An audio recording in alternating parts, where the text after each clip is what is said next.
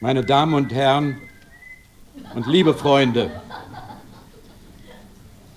es ist fast 30 Jahre her, dass ich mich in einer ähnlichen Lage befand wie heute Professor Max Bill, gelegentlich der Eröffnung des selbstentworfenen Bauhausgebäudes in Dessau, das war im Jahre 1926. Aber meine innere Anteilnahme an dieser heutigen Feier geht viel weiter. Denn die im Bauhaus einst begonnene Arbeit und seine Grundidee hat hier in Ulm eine neue deutsche Heimat und die organische Weiterentwicklung gefunden.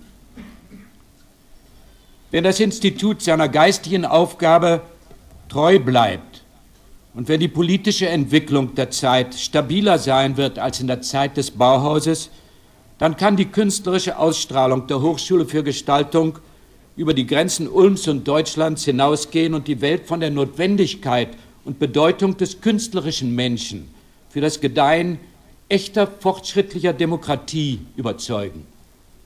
Darin sehe ich seine große erzieherische Aufgabe. In unserem Zeitalter der Wissenschaft wurde der Künstler ja fast vergessen, oft sogar verlacht und in seinem wahren Wesen unterschätzt als wäre er nur ein entbehrliches Luxusmitglied der Gesellschaft.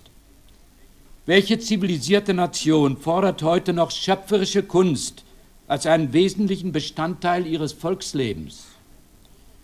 Deutschland hat die große kulturelle Chance, in echter Abfolge seiner eigenen Geschichte bewusst wieder die Bedeutung des Magischen gegenüber dem Logischen unserer Zeit zu betonen. Das heißt, den Künstler wieder zu legitimieren und in den modernen Produktionsprozess leitend einzubauen. Die Hypertrophie der Wissenschaften hat ja das Magische in unserem Leben verdrängt. Der Poet und der Prophet wurden zu Stiefkindern des überpraktischen Zweckmenschen infolge des beispiellosen Siegeszuges der logischen Wissenschaft. Ein prägnantes Wort von Einstein beleuchtet das Ergebnis dieser einseitigen Entwicklung in sechs Worten. Vollendete Werkzeuge, aber verworrene Ziele kennzeichnen unsere Zeit. Das geistige Klima, das noch zu Ende des 19. Jahrhunderts vorherrschte, hatte noch einen mehr oder weniger geschlossenen, statischen Charakter, getragen von einem anscheinend unwandelbaren Glauben an die sogenannten ewigen Werte. Dieser Glaube ist dem neuen Begriff von einer Welt der unaufhörlichen Wandlung, der Relativität aller Phänomene gewichen. Die hieraus resultierenden tiefen Veränderungen des Lebens haben meist während letzten halben, des letzten halben Jahrhunderts industrieller Entwicklung stattgefunden und in dieser kurzen Zeitspanne eine umfassendere Umwandlung aller, aller menschlichen Lebensbedingungen bewirkt, als die Summe der Geschehnisse aller Jahrhunderte seit Christi Geburt. Dieses Wirbelwindtempo hat viele Menschen in einen Zustand unglücklicher Verwirrung gebracht, hat viele Nerven zerrüttet. Und die natürliche Trägheit des menschlichen Herzens kann diesem Tempo eben nicht standhalten. So müssen wir uns gegen die Erschütterungen wappnen, die unvermeidlich sind, solange die Lawine wissenschaftlicher und philosophischer Erkenntnis so schnell mit uns dahin rast. Was wir offensichtlich am dringendsten brauchen, um unsere wackelige Welt zu stützen, ist eine Neuorientierung auf der kulturellen Ebene. Ideen sind allmächtig. Die geistige Richtung der Menschheitsentwicklung ist immer durch den Denker und den Künstler maßgeblich beeinflusst worden, deren Schöpfungen jenseits logischer Zweckmäßigkeit stehen. Ihnen müssen wir uns immer wieder zuwenden, denn ihr Einfluss kann nicht wirksam werden, wenn das Volk indolent und unempfänglich nicht auf sie lauscht. Nur wo die Menschen spontan den Samen einer neuen eigenen Kultur empfingen, konnte sich dieser verbreiten und verwurzeln.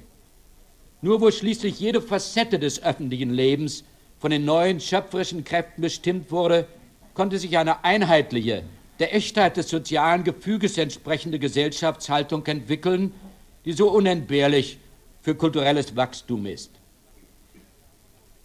Noch vor wenigen Generationen war unsere Gesellschaft tatsächlich eine ausbalancierte Einheit, in der jedermann seinen Platz fand und eingewurzelte Gebräuche ihre selbstverständliche Geltung hatten.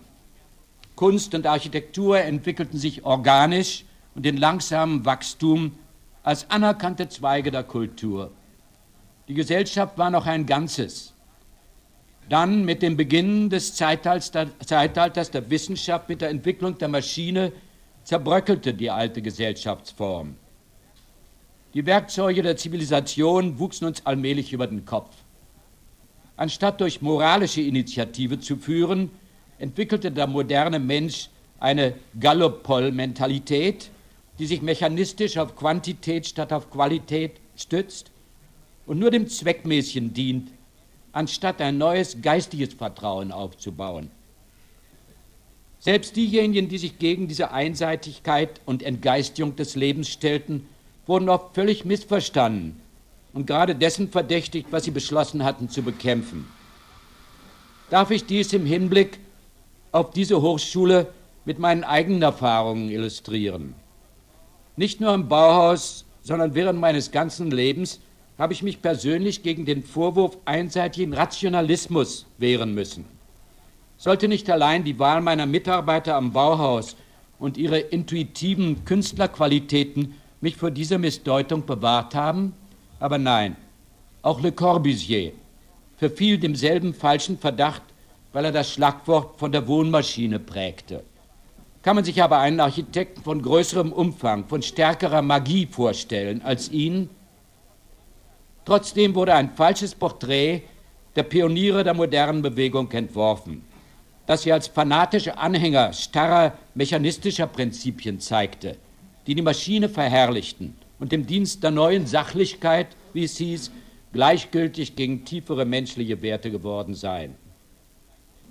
Da ich selbst zu diesen Ungeheuren gehöre, staune ich nachträglich darüber, wie wir es fertiggebracht haben sollen, auf einer so kümmerlichen Basis zu existieren.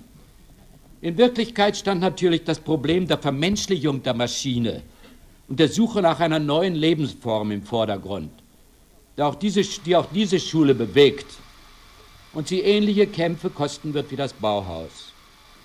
Um neue Mittel in den Dienst menschlicher Zwecke zu stellen, machte das Bauhaus damals den Versuch, praktisch zu demonstrieren, was es predigte, und ein neues Gleichgewicht zu finden zwischen den praktischen und den ästhetisch-psychologischen Ansprüchen der Zeit.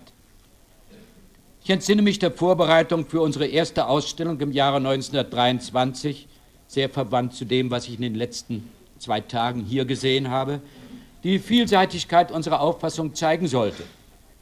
Ich hatte hier den Namen Kunst und Technik eine neue Einheit gegeben was ja nicht gerade nach mechanistischer Auffassung klingt. Funktionalismus war für uns nicht gleichbedeutend mit rationellem Vorgehen allein. Er umfasste ebenso die psychologischen Probleme. In unserer Vorstellung sollte die Gestaltung im physischen wie im psychologischen Sinne funktionieren. Wir waren uns klar darüber, dass emotionelle Bedürfnisse ebenso zwingend sind wie praktische und ebenso nach Erfüllung verlangen. Aber die Idee des Funktionalismus wurde und ist noch heute missdeutet von denjenigen, die nur seine mechanistische Seite sahen. Natürlich waren die Maschinen und die neuen wissenschaftlichen Möglichkeiten von höchstem Interesse für uns. Aber die Betonung lag weniger auf der Maschine selbst als auf dem Wunsch, sie intensiver, dem Leben dienstbar zu machen. Zurückblickend muss ich sagen, dass unsere Generation sich eher zu wenig als zu viel mit der Maschine auseinandergesetzt hat und dass die neue Generation erst sie sich ganz zum willigen Gestaltungswerkzeug machen muss, um geistig triumphieren zu können. Alle Fragen der Schönheit, der Form sind solche einer psychologischen Funktion. In einer universalen Kultur gehören sie untrennbar zum gesamten Produktionsprozess, für den täglichen Gebrauchsgegenstand wie für den großen Bau. Während es die Aufgabe des Ingenieurs ist, die technisch funktionierende Konstruktion zu finden, sucht der Architekt, der Künstler nach dem Ausdruck. Er bedient sich dazu der Konstruktion. Aber erst jenseits des technischen, logischen offenbart sich das magisch-metaphysische seiner Kunst, wenn er überhaupt die Gabe zu optischer Dichtung besitzt. Angeborenes Talent muss erst durch schöpferische Erziehung freigemacht werden. Erziehung bedeutet nicht viel, wenn wir darunter nur die Aneignung von Kenntnissen verstehen. Intensität der Überzeugung und Gesinnung ebenso wie die Bereitwilligkeit, dem Ganzen zu dienen. Erziehung der Sinne, nicht nur des Verstandes, sind die wesentlichen Ziele. Alle professionelle, technische und wissenschaftliche Information muss sich der Erziehung zur Gesinnungshaltung unterordnen. Ein fruchtbares Mittel, die natürliche Anmaßung, deren Gefahren wir ja alle begegnen, abzulegen, ist die Arbeit in Teams, in der die Mitglieder lernen, die Sache dem eigenen Interesse überzuordnen. Und hierdurch wird der Entwerfer zu einer Haltung vorbereitet, die ihn in den Stand setzt, später Mitglied des Produktionsteams in der Industrie zu werden, gleichberechtigt mit dem Kaufmann, dem Wissenschaftler, dem Ingenieur und voll verantwortlich für die Formentwicklung, für den Ausdruck des Produkts oder des Bauwerks. Ich schließe nämlich den Architekten, der manchmal noch zu unbeweglich auf seinem alten Backsteinhaufen sitzt und Gefahr läuft, seine Chancen innerhalb der industriellen Produktion zu verlieren, in diesen Teamvorschlag ein. Er muss sich auch hineinbegeben. Wenn wir den Produktionscharakter der heutigen Arbeitswelt analysieren, so finden wir ähnliche Gegensätze am Werk wie im Kampf des Individuums gegen den Massengeist. Im Gegensatz zum wissenschaftlichen Prozess mechanisierter Vervielfältigung durch die Maschine, wir sprechen heute von Automation, besteht die Arbeit des Künstlers in einer unvoreingenommenen Suche nach Lösungen, die uns die Phänomene des täglichen Lebens symbolisieren. Seine Arbeit ist grundlegend wichtig für eine echte Demokratie und für eine Vereinheitlichung der Zielsetzung, denn er ist der Prototyp des universalen Menschen. Seine intuitiven Eigenschaften retten uns vor der Gefahr der Übermechanisierung. Mechanisierung ist bestimmt kein Selbstzweck, sonst wäre sie nur ein Unglück, das das Leben seiner Fülle und Vielfalt berauben und die Menschen zu Automaten verkümmern lassen würde. Breite, weitsichtige Erziehung muss den Weg weisen für die richtige Art der zukünftigen Zusammenarbeit zwischen dem Künstler, dem Wissenschaftler und dem Geschäftsmann. Nur zusammen können sie einen Produktionsstandard entwickeln, der den Menschen zum Maß hat. Das heißt, der die Imponderabilien unseres Daseins ebenso ernst nimmt wie physische Bedürfnisse. Ich glaube an die wachsende Bedeutung der Arbeit in Teams für die Vergeistigung des Lebensstandards in der Demokratie. Zwar entzündet sich der Funke des Einfalls, der einem Werk erst das Leben verleiht, im schöpferischen Individuum, aber in enger Arbeit zusammen mit anderen im Team im gegenseitigen Ideenaustausch und angespornt durch das Feuer der Kritik ergeben sich die größten Resultate.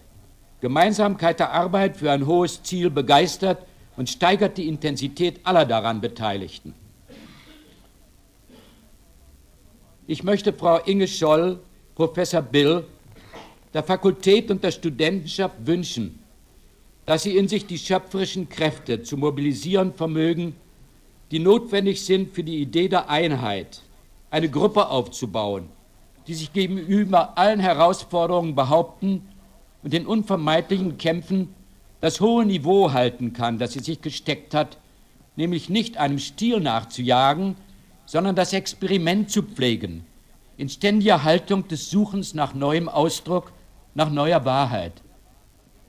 Ich weiß sehr wohl, wie schwer es ist, diese Linie zu halten wenn ihnen wieder und wieder das Formprodukt von Gewohnheit und Beharrungsvermögen als Wille des Volkes vorgehalten werden wird.